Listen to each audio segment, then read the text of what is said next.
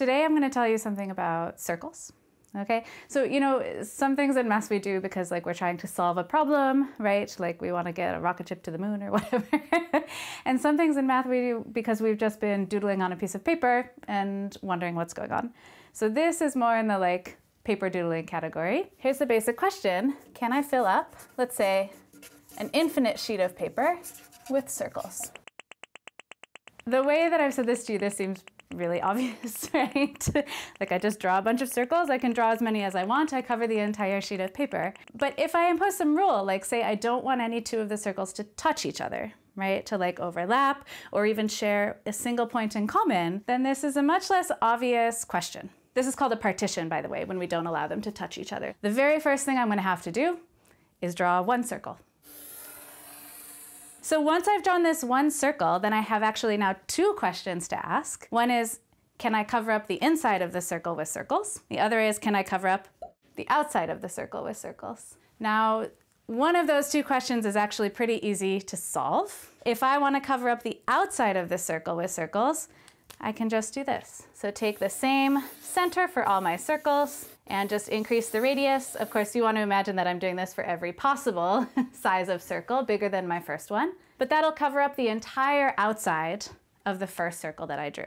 And since trying to answer this question always starts with a first circle, we can always do this sort of infinite piece of the paper is not really any problem. So the question really then is, I have this disk inside of a circle, how can I cover it up with a bunch of circles that don't touch each other? The first thing you might want to do is just like on the outside, just shrink your circle sizes to cover up all of the points inside of this disk. There's a little problem with that plan, which is what happens at the end of that game, right? So we have these smaller circles, but we're never going to get a circle that covers this center point. But you say, well, well, well, well, well.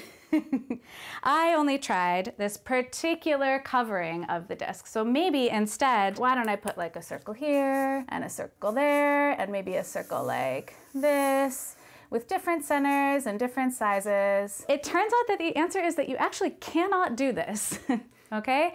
You are always going to miss at least one point when you try to cover the inside of a circle, so the disk, with circles that don't touch each other. And the reason why is because of almost exactly the same thing that goes wrong with my red circles. If I start trying to cover a disk like this with circles, well, let's think about this center point. If I can cover this disk with circles, that center point has to live on one of them. Now, the circle that it lives on, whatever it is, say this big, it can't be too large, right? Because if the, the width of this circle, the diameter of this circle was large enough, then it would run into my first circle. So that forces a size restriction on the circle containing this center point. But that second circle has its own center point. So we draw the center there, and that's got to be on some circle too, but it has to have pretty small width as well. And so when I keep looking at these centers, whatever circles they lie on, the widths are getting smaller and smaller and smaller. And so we're all shrinking down. And at the end of the process, we're going to end up with a single point here, just like in the original example, that cannot lie on any of the circles. All right, so we cannot cover this plane, right, this two-dimensional space with circles. Why don't we add a dimension and work with space instead? Once you do that, you can cover the entire three-dimensional space with circles. It's not going to have some sort of simplification like this where I cut it into an infinite piece and a finite piece. Because if I think about a circle living in space, right, I've got everything sort of all around my circle. I don't have two separate pieces that the circle cuts space into okay? But this is actually to our benefit. So let me show you how to do this. We're moving to three dimensions. We need a whole new piece of paper, right? So here's, say, two dimensions.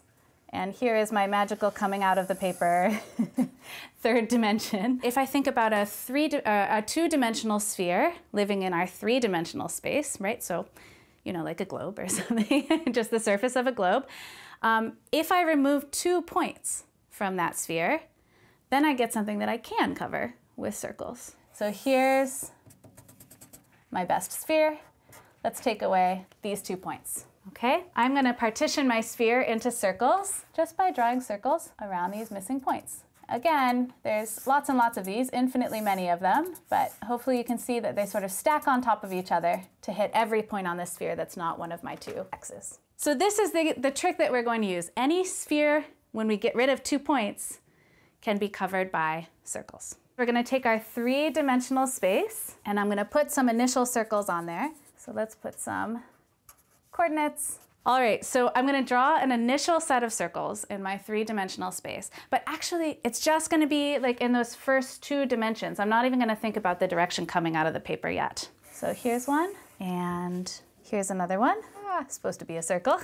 okay, so all these sort of width two, radius one circles with centers on these integer coordinate points, right? So I've got these circles sort of spaced out on the flat part of my three-dimensional space. How this helps me now is if I draw a sphere centered at the red point here, okay? Then let's think about how my red sphere that I drew hits the black circles that I drew first. The black circles all live in this flat part of space, given, you know, the desktop or the brown paper, right? And so the circles on the brown paper, the sphere that I drew will only touch the circles exactly where it hits the brown paper too, right? So I want to think about slicing my sphere off right by the, where the brown paper is. And look at what happened here. So how many points did I hit any of my black circles? I hit two points. That was just for the example that I drew, but actually if you sort of stare at my construction, the location of my circles were chosen very carefully so that any sphere that I draw that's centered at this red point will hit exactly twice one of the black circles. And so that's how I get my circle covering of this three-dimensional space. First, I draw this family of black circles. They go on in every direction. and then I draw every single sphere that's centered at this red point. Now, any of those spheres can then be covered by circles by themselves. And so each of those spheres can be covered by all of these circles and putting them all together, I get a way to cover the entire three-dimensional space with circles.